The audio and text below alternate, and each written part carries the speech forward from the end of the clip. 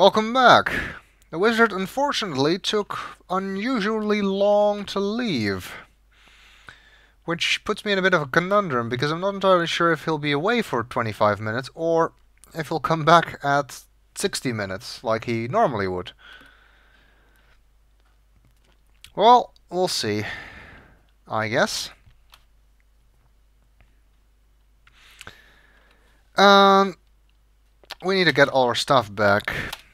You can actually just get all of it by typing get items. I think get all also works. Dropping to your knees, you reach under the bed and retrieve all of your possessions. Okay, now it's back to Llewdor to get the remainder of the spell ingredients. The magic map's faded ink has brightened, but only in those places where you have been. Indeed. Um, well, let's check out the rest of the desert. And so it shall be.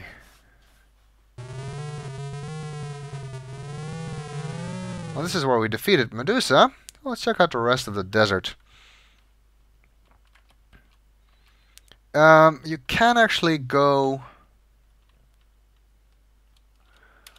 further west, but doing so is not a particularly good idea. There's nothing but featureless desert. And I believe if you go far enough, you will die. Of course. Hey, snake. Any experienced traveler knows better than to mess with snakes. I consider that a challenge. Oh, well, he left. Too bad. We do need dried snakeskin, uh, don't we? The parched sands of the desert seem to reach forever westward. And it looks like there is a dried snakeskin here. You notice a dried snakeskin lying on the hot ground. You retrieve the dried snakeskin from the hot desert sand. It is delicate and could easily crumble. Better be careful with it then. We have all of our dangerous stuff again. The dry, thin snakeskin is extremely fragile.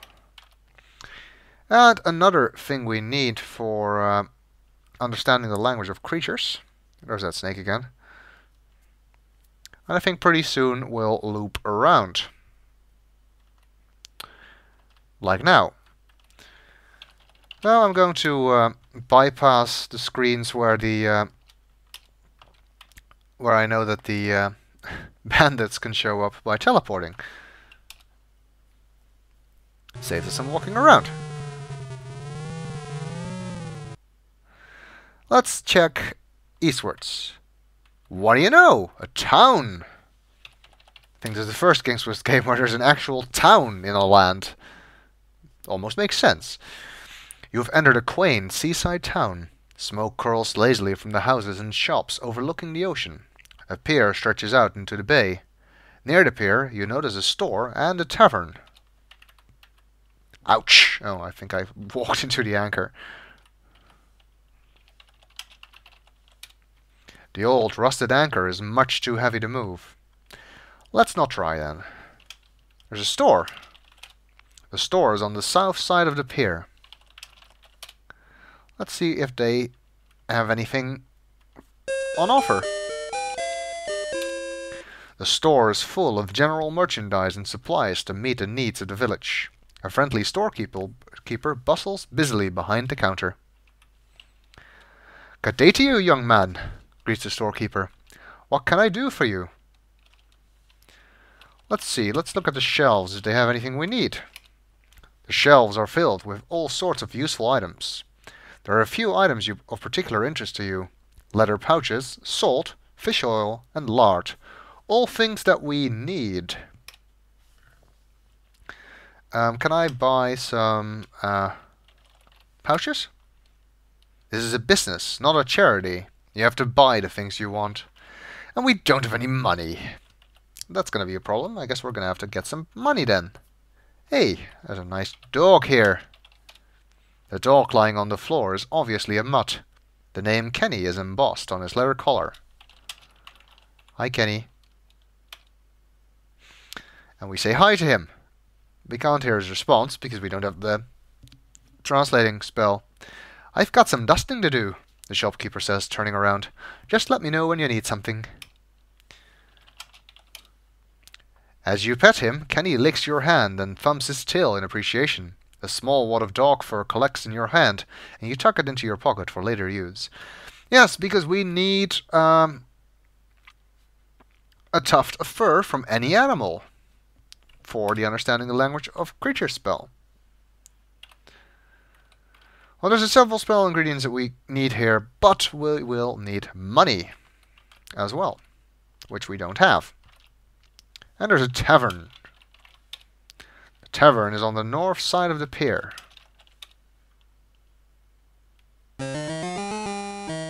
Uh-oh. Bottles of rum and wine sit atop shelves behind the bar. Two surly-looking characters are drinking ale at the table. Looking closer, you see that they are the bandits from the forest. One of the surly-looking character yells to the barmaid, Wench, come over here with more ale.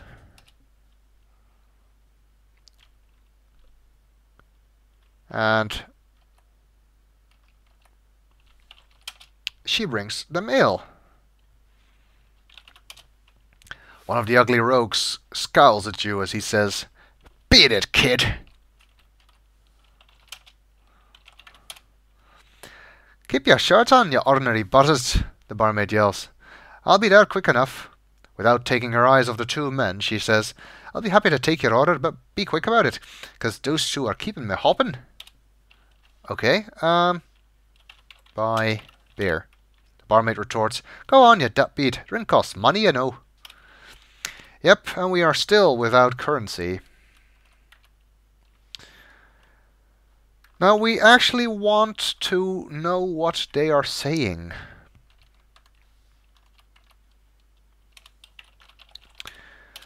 But obviously they are not inclined to talk amongst themselves when they know that we are there. So how can we spy on them undetected? Well, using the Become Invisible spell, I guess. But we don't have that one yet. Alternatively, though, we could disguise ourselves as a fly. Oh, uh...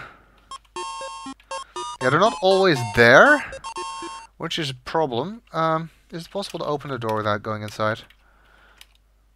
Yes. Okay. Dip. Um, let's save here. Just in case.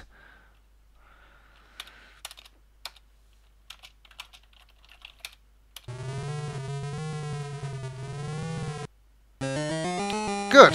Got them in once. They're not always inside, even if you go inside as a fly. Which is a problem, because then you have to go back out, which closes the door, which means you can't go back in. And if you transform ba back into yourself to open the door again, this costs you one of the times you can turn into a fly or eagle. And since you uh, need to do this again, the um, that would be problematic. You overhear snatches of the two bandits' conversation. Squirm just like a pig, and that rope you rigged inside the old, uh, the big oak tree works great. Now nobody will ever find our hideout. Why, I'll bet even that wizard. Now that's interesting. Apparently they have a hideout in a big oak tree. Let's turn into uh, ourselves again. The impulse to buzz around has vanished. You feel yourself growing bigger, so you head for what you hope is a safe place to land.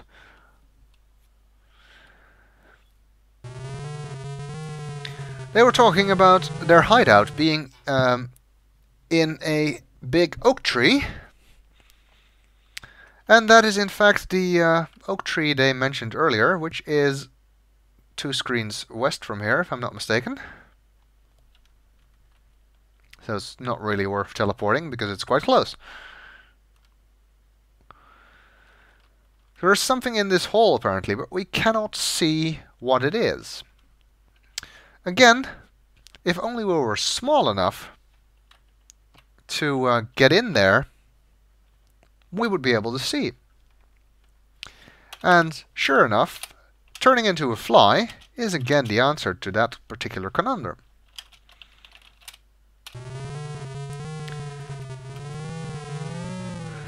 In your insect form, you fit easily through the hole in the tree.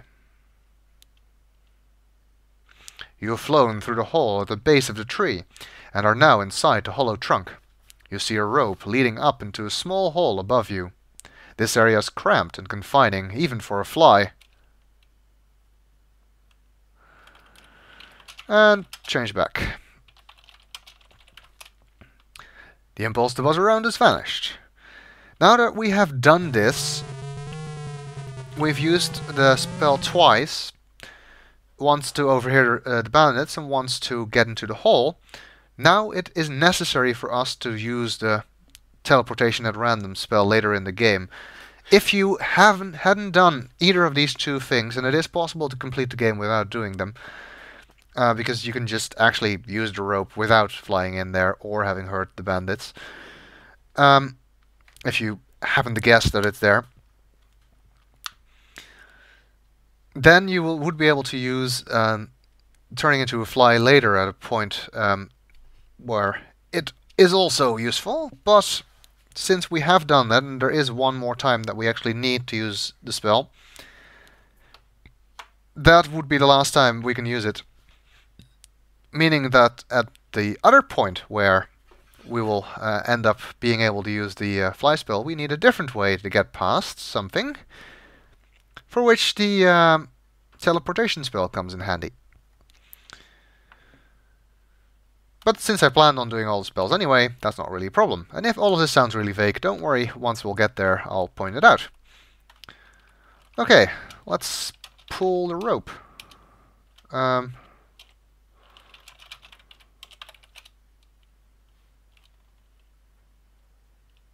You lie down on the ground and reach into the small hole. You feel around and inside a hollow tree and discover a rope stretching up into the tree. You pull it, and to your amazement, a rope ladder falls from the branches above. Indeed, it does. Um, and I'm going to save here because well, the ladder is not dangerous, unlike in King's Quest 2, but the hideout is, unfortunately. You can fall down here. And there can be bandits inside, and since I'm not entirely sure if you have to go back down to uh, make sure they're not there, I'm just saving under a different name here. And we'll continue in the next video.